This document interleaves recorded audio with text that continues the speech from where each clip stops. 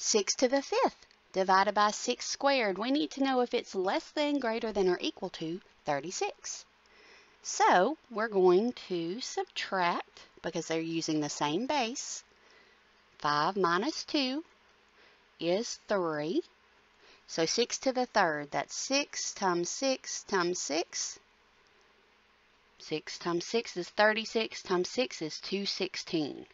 So 216 is greater than 36. You could have also rewritten this as 6 squared and said 6 to the third is greater than 6 squared. Either way works. Just do whichever one is easier for you.